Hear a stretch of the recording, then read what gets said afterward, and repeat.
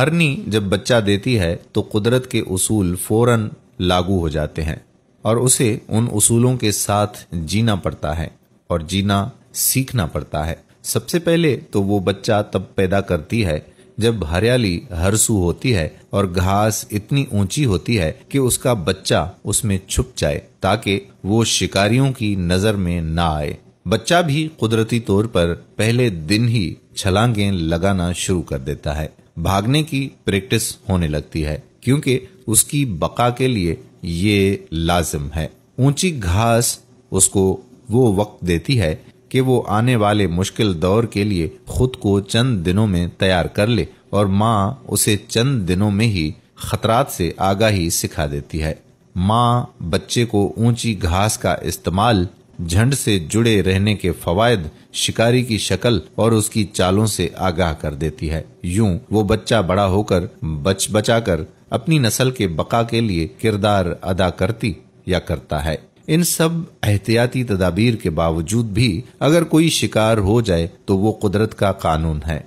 तकाजे हैं कि शिकारी को शिकार चाहिए। जो भाग सकता है, भाग जाए। जो गाफिल होगा, मारा जाएगा। ताकत का कानून यही है। हरनी का रोना बनता है। दूसरी तरफ़, हम इंसानों के बच्चे हैं, जो बड़े बहुत देर बाद होते हैं, और समझदार तो और भी देर बाद होते हैं। बात का मकसद ये है कि आज मैंने एक आठ से दस साल बच्ची देखी, जो जिस्मानी एतबार से पंद्रह साल लग रही थी, और वो इंतहाई तंग कुर्ती, यानी कमीज और पटियाला शलवार में मलबूस थी। बच्ची तंदूर वाले के पास रोटियाँ लगवा रही थी। तंदूर पे तीन मर्द थे। उनके बाई तरफ़ बराबर में दूध वाले की दुकान थी, जिसमें दो लड़के थे। सामने सब्ज़ी वाला था। उसके बराबर में खाली प्लाट पे दस रक्षे वाले। उसके बाद इलेक्ट्रिशियन, एक बर्फ़ वाला और तंदूर वाले के दाई तरफ़ एक स्कूल का गार्ड बैठा हुआ था। ये तमाम लोग बाहमी दिलचस्पी के उमूर पे आँखों से गुफ्तगु कर रहे थे और उनकी इस बसरी गुफ्तगु का मरकजी ख्याल था।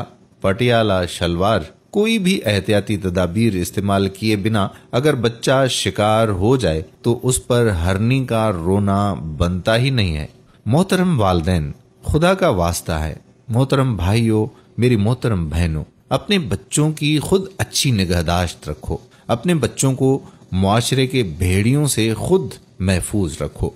वरना आज की कोई कोताही खुदा ना ख्वास्ता कल को किसी बहुत बड़े सानहे का सबब बन सकती है। बचपन से ही अपनी बच्चियों को पर्दा करने का सबक सिखाएँ और जब बच्चियाँ बड़ी हो जाएँ तो खुद ब खुद घर से बाहर निकलते वक्त पर्दे और बुरक़े का अहतमाम करें।